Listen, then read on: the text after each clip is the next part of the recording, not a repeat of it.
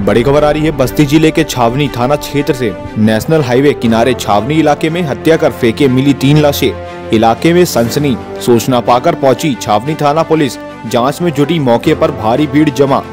Police की माने, उन्नाव का ट्रक चालक सोनू बताया जा रहा है, मृतक पुलिस की रात्रि गश्त की खुली पोल। गला रेत कर की गई तीनों की हत्या, आलू बेचकर गोरखपुर से लौट रहे थे तीन मृतक। हत्या के कारणों का नहीं चल रहा है पता। चर्चा है कि लूट की नियत से की गई तीनों की हत्या। दो लाश ट्रक में पड़ी मिली शंकरपुर पुलिस चौकी। विक्रम जोत के पास एक लाश, पंचवस गाँव के समीप।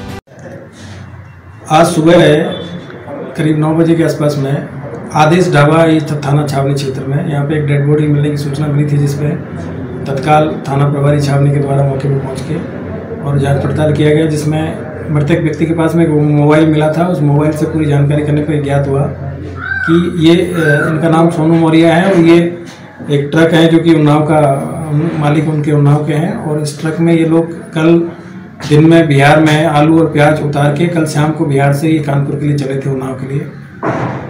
रात्रि में बारह बजे के आसपास में इनकी लोकेशन छावनी टोल प्लाजा से पहले बस्ती टोल प्लाजा के आसपास में देखी गई है।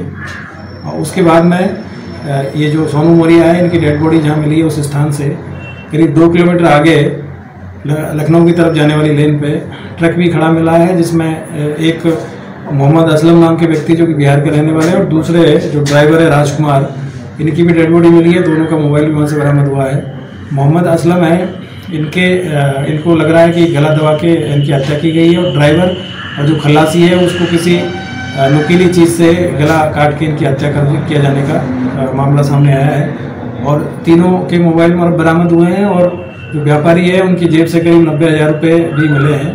तो प्रथम दृष्टा देखने में ये लग रहा है कि इनके आपस में जहाँ पे खलासी की जो डेड बॉडी मिली है, वहाँ पे कुछ स्ट्रगल के निशान भी मिले हैं और उसके बाद में आगे जो इनकी डेड बॉडी मिली है तो देखने से लग रहा है कि घटनास्थल के पास में जो पहली डेड बॉडी मिली है, वहाँ पे किसी से इनका झगड़ा हुआ है और झगड़े में ये हत्या हुई है और अभी तक इसमें और कोई इस तरह की चीज़ सामने नहीं है कि झगड़ा का क्या मतलब ये जो घटना है, इसका क्या मोटिव है? क्योंकि गाड़ी भी मिली है, मोबाइल भी मिले हैं और जो पैसा है वो भी इनके पास से, जितना पैसा बताया जा रहा है मालिक के द्वारा, उतना पैसा भी इनके पास से बरामद हुआ है।